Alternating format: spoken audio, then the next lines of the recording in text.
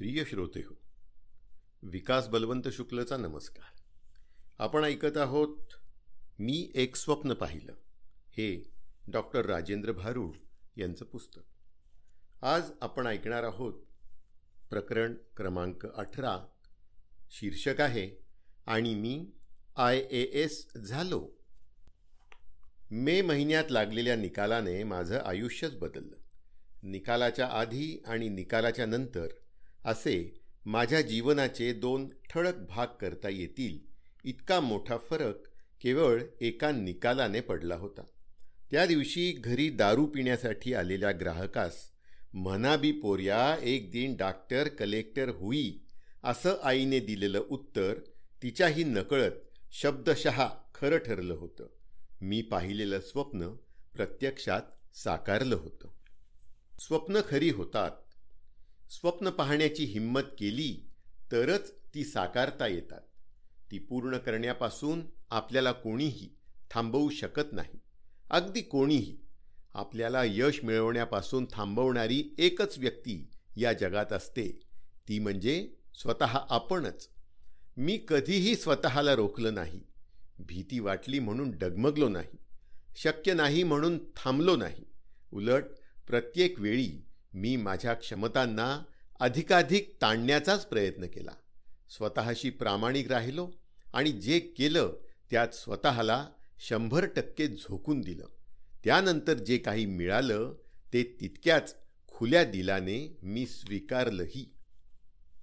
माझा देशात सातशे नववा क्रमांक असल्याने मला आय ए एस म्हणजे कलेक्टरची रँक मिळू शकेल की नाही याबद्दल माझ्या मनात शंका होती.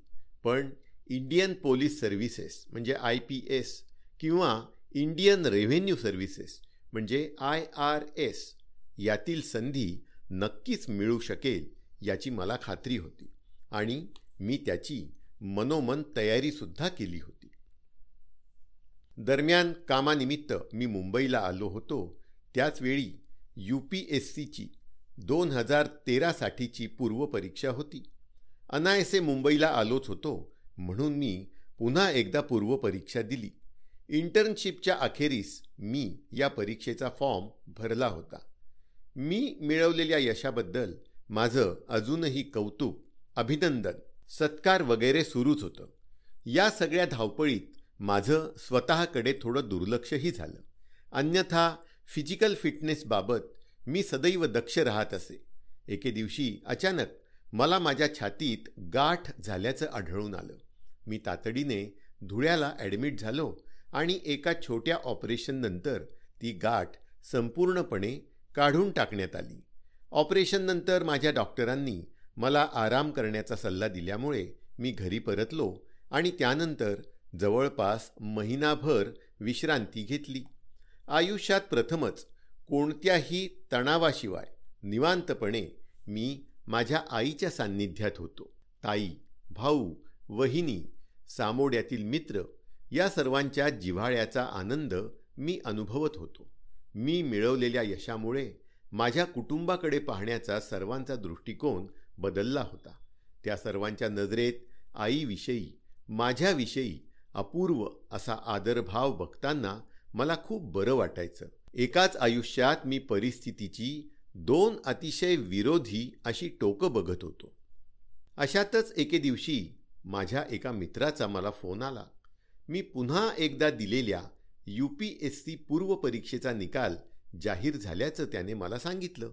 पण दोन तीन दिवस मी निकाल पाहायलासुद्धा गेलो नाही. मला त्याविषयी फारशी उत्सुकताही वाटली नाही. कारण पुन्हा मुख्य परीक्षेची तयारी करून मुलाखतीपर्यंतचा प्रदीर्घ प्रवास करण्याची माझी इच्छा होत नव्हती. शिवाय मला आता कुठल्याही परिस्थितीत लवकरात लवकर कमावतं व्हायचं होतं. आई आणि भाऊचं ओझं कमी करायचं होतं. तिची आयुष्यभर सुरू असलेली दमछाक कुठेतरी थांबवायची होती परंतु मी यावेळी सुद्धा यू पी एस सी पूर्व परीक्षा पास झाल्याचं मला कळलं मात्र मी ते फार मनावर घेतलं नाही. त्याच दरम्यान मला भारतीय महसूल सेवा पद म्हणजे आय आर एस मिळाल्याचंही समजलं. मी खरं तर I A S I P S आणि नंतर आय आर एस असा प्राधान्यक्रम भरला होता पण मला आय आर एस हे पद मिळालं. माझ्यापेक्षा खालची रँक असणाऱ्या काहींना मात्र आय पी एस मिळालं. म्हणून मी दिल्लीला मिनिस्ट्री ऑफ पर्सनल अफेअर्समध्ये चौकशी केली. त्यांनी काहीतरी चूक झाली असेल पुन्हा कागदपत्रांची पूर्तता करण्यासाठी या असं सांगितलं. मी नंतर विचार केला की शासनाच्या अनवधानाने का होईना आपल्याला आय पी एसच्या ऐवजी चुकून आय आर एसचं पद मिळालं हा भगवंताचाच संदेश असावा. जे होतं ते भल्यासाठीच होतं. त्यातच छातीच्या शस्त्रक्रियेमुळे माझ्या शारीरिक हालचालींवर काही प्रमाणात मर्यादा आल्या होत्या. त्यामुळे आय पी एसच्या प्रशिक्षणात आपल्याला अडचणी येतील असं मला वाटत होतं. पुन्हा एकदा U P S C try करायला काय हरकत आहे असा विचार माझ्या मनात आला. त्यामुळे मी आय आर एस स्वीकारण्याचं ठरवलं. त्याचवेळी मला नेहमी प्रोत्साहन देणारा माझा मित्र निलेश पाटील मला भेटायला आला. मी त्याच्याशी चर्चा केली. तेव्हा सध्या आय आर एसचं पद घे जेणेकरून तुला पुन्हा यू पी एस सीच्या तयारीला जास्त वेळ मिळेल असं म्हणून त्यानेही माझ्या दुसऱ्यांदा परीक्षा देण्याच्या निर्णयाला दुजोराच दिला होता. शेवटी मी आय आर एस हेच पद स्वीकारलं. सुरुवातीला मसुरी इथे तीन महिन्यांचा फाउंडेशन कोर्स असतो. मी त्या फाउंडेशन कोर्सला न जाण्याचं ठरवलं. मात्र माझ्या अभ्यासाचं आणि कष्टाचं फळ म्हणून मला दुसऱ्या वर्षी पुन्हा मसुरीच्या प्रशिक्षणाची संधी मिळाली. मसुरी म्हणजे पहाडोकी राणी क्वीन ऑफ हिल स्टेशन्स. स्वप्नवत सुंदर असलेल्या अशा नितांत सुंदर पर्यटन स्थळी मला कधी जाता येईल असा मी स्वप्नातही विचार केला नव्हता. उत्तराखंडची राजधानी देहरादूनपासून सुमारे पस्तीस किलोमीटर अंतरावर समुद्र सपाटीपासून चार हजार फूट उंच असलेलं आणि हिमालयाच्या शिखरांनी वेढलेलं मसुरी हे थंड हवेचं ठिकाण. इथलं वातावरण अतिशय आल्हाददायक. मसुरीला पहाडो की राणी का म्हणतात हे तिथे गेल्याशिवाय कळणार नाही. अशा स्वर्गीय सुंदर मसुरीत आमचा मुक्काम जवळजवळ एक वर्ष होता. मसुरी असं पर्यटन स्थळ म्हणून ओळखलं जातं तसंच ब्रिटिश काळापासून देशाच्या अत्यंत महत्त्वाच्या प्रशासकीय सेवेचं प्रशिक्षण केंद्र म्हणूनही अनेकांच्या आकर्षणाचा केंद्रबिंदू आहे. संपूर्ण भारताच्या कानाकोपऱ्यातून निवड झालेले आय ए एस अधिकारी इथल्या लाल बहादूर शास्त्री राष्ट्रीय प्रशासकीय अकादमी म्हणजे L B S N A A मध्ये भेटतात. प्रत्येकात असलेले वेगवेगळे गुण विभिन्न कौशल्य अनुभवताना आपण स्तिमित होतो. प्रशिक्षणाची सुरुवात फाउंडेशन कोर्सने होते. या कोर्स अंतर्गत I A S I P S I F S आणि आय आर एस अशा प्रशासकीय सेवेतील अधिकाऱ्यांना प्रशिक्षण दिलं जातं. अकादमीचा परिसर अतिशय भव्य दिव्य रमणीय आणि आल्हाददायक आहे. निसर्गाच्या कुशीत अत्यंत उत्साही वातावरणात इथे प्रशिक्षण दिलं जातं. इथला प्रशिक्षण कक्ष सभागृह ग्रंथालय संगणक कक्ष निवास कक्ष मेस हे सर्वच खूप प्रशस्त आहेत. Football tennis volleyball horse riding badminton इत्यादी खेळांची मैदानं तसंच जिम्नॅशियम अतिशय प्रशस्त आणि आंतरराष्ट्रीय दर्जाची आहेत. मानसिक आणि शारीरिक फिटनेससाठी प्राधान्य दिलं जात असल्याने हे प्रशिक्षण निवड झालेल्या सर्वच अधिकाऱ्यांसाठी सक्तीचं असतं. अगदी भल्या पहाटे पाच वाजता कडाक्याच्या थंडीतच आम्हाला उठावं लागे.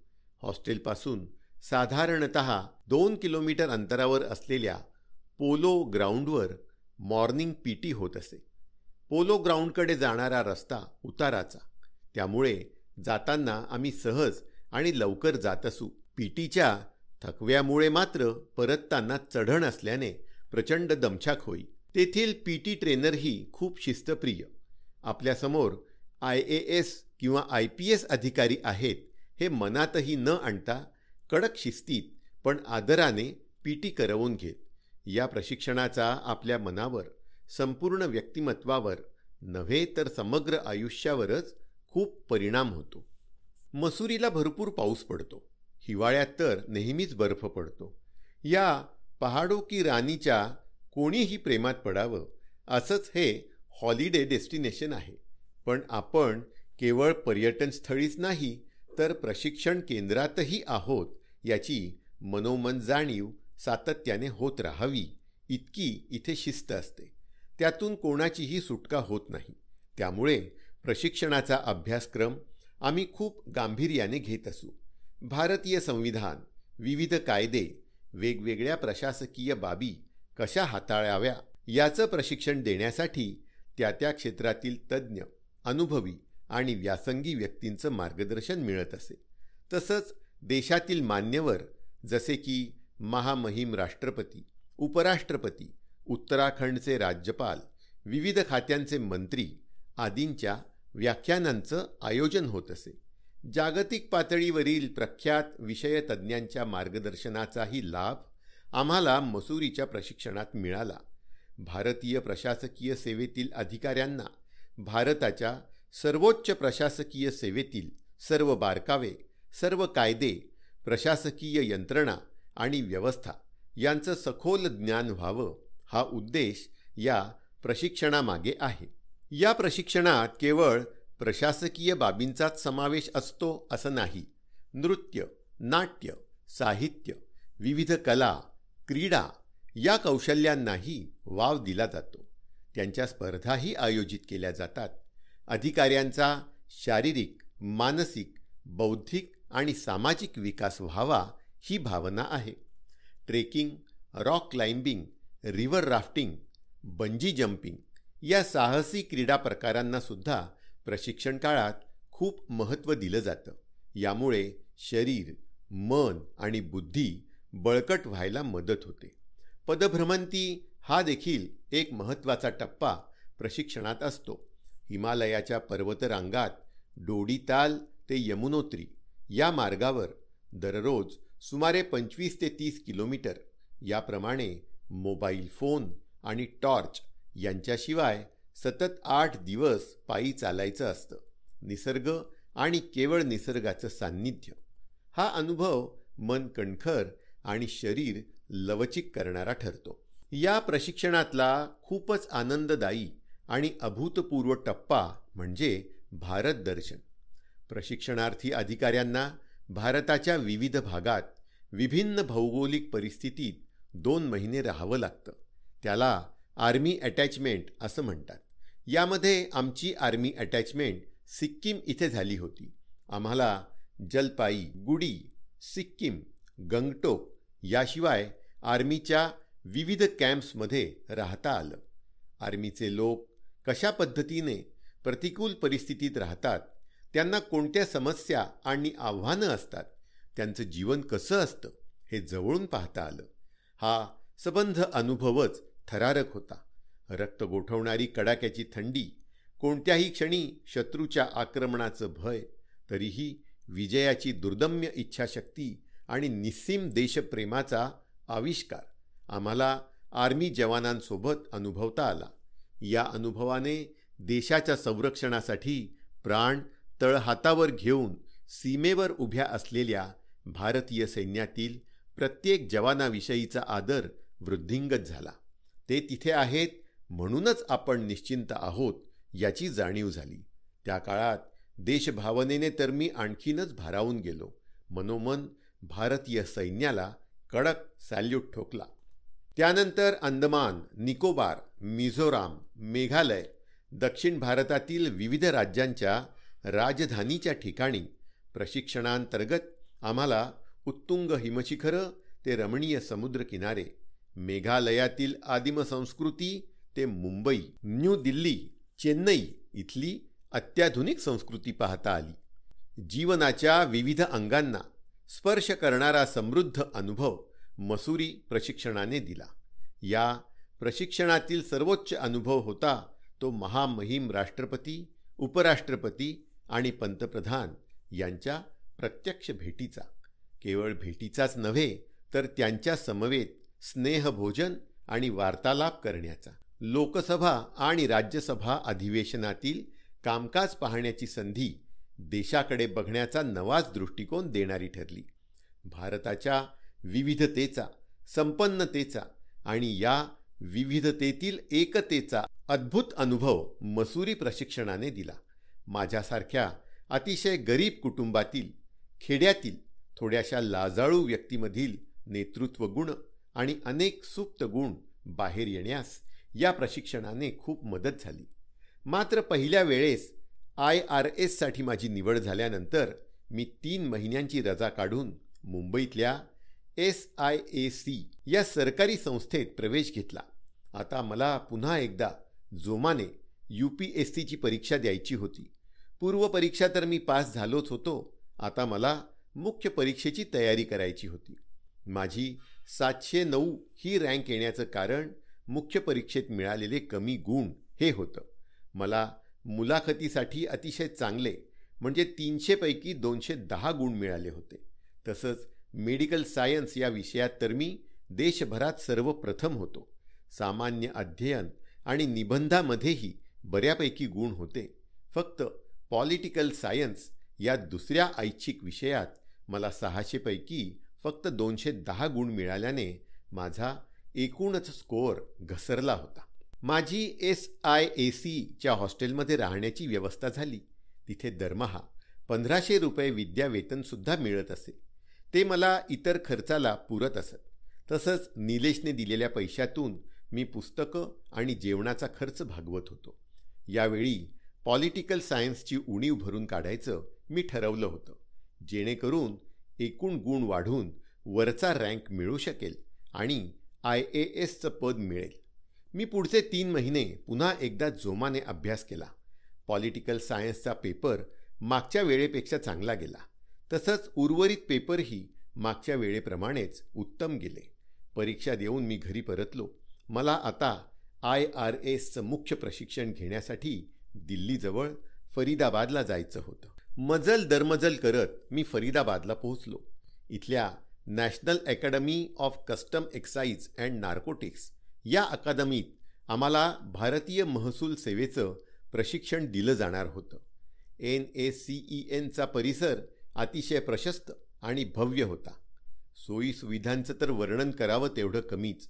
स्वच्छ आणि ऐसपैस मेस वातानुकूलित व्यायामशाळा भलं मोठं ग्रंथालय अगदी सर्वच प्रकारचे खेळ शिवाय राहण्याची व्यवस्था ही अतिशय उच्च दर्जाची होती. ही सर्व सुखव्यवस्था पाहून माझा स्वतःवर विश्वास बसत नव्हता. सर्वच इमारती स्थापत्यशास्त्राच्या दृष्टीनेही उत्कृष्ट होत्या. डोळे दिपवणाऱ्या सभागृहात सर्व कर्मचारी आम्हाला उच्च अधिकाऱ्यासारखीच वागणूक देत असत. संपूर्ण वातावरण एक कणखर अधिकारी घडवण्यास पूरक असंच होतं. मधल्या काळात तीन आठवड्यांसाठी आम्हाला हैदराबादला पोलीस ट्रेनिंगसाठी पाठवण्यात आलं. त्यामध्ये आम्हाला A K forty seven C M G machine gun पिस्तूल अशी विविध प्रकारची शस्त्र स्वतः हाताळायला मिळाली. ते चालवण्याचं शिक्षणही देण्यात आलं. हैदराबादला जाताना मी आयुष्यात पहिल्यांदा विमानाने प्रवास केला आणि विशेष म्हणजे आजवर केवळ चित्रपटांमधूनच पाहिलेल्या फाईव्ह स्टार हॉटेलमध्ये आमचा मुक्काम असायचा. तिथल्या आलिशान बेडवर मला माझे बालपणाचे सामोड्याचे दिवस आठवत. प्रशिक्षणादरम्यान खास आमच्यासाठी महामहिम राष्ट्रपती प्रणव मुखर्जी माननीय पंतप्रधान मनमोहन सिंग अर्थमंत्री पी चिदंबरम आणि अन्य बऱ्याच मोठमोठ्या व्यक्तींची व्याख्यानं आयोजित केली गेली. विविध क्षेत्रात देशाचं नेतृत्व करणारी एवढी मोठी माणसं मी आयुष्यात प्रथमच पाहत होतो आणि ते सुद्धा अगदी जवळून. आय आर एसचं प्रशिक्षण सुरू असतानाच माझा यू पी एस सी मुख्य परीक्षेचा निकाल लागला. मी अपेक्षेप्रमाणे सलग दुसऱ्यांदा मुख्य परीक्षा पास होऊन मुलाखतीसाठी पात्र झालो होतो. एव्हाना माझा पगारही सुरू झाला होता. शिवाय फरीदाबादपासून दिल्ली जवळच असल्याने यावेळी माझी दिल्लीवारी सहज शक्य झाली. मंडाले मावशी आणि गुरुजींच्या शुभेच्छा स्वीकारून मी मुलाखतीला गेलो. यावेळीसुद्धा मुलाखत अतिशय चांगली झाली. आय आर एसचं प्रशिक्षण सुरू होतं. आता मी पुन्हा एकदा निकालाची वाट बघत होतो. मागच्यापेक्षा यावेळी बराच तणावमुक्त होतो. मे महिन्यात निकाल लागला. प्रामाणिक प्रयत्न केल्यास हवं ते मिळवता येतं हे पुन्हा एकदा सिद्ध झालं. भारतात पाचशे सत्तावीसावी रँक आली. काही दिवसात प्रवर्गानुसारही निकाल जाहीर झाले.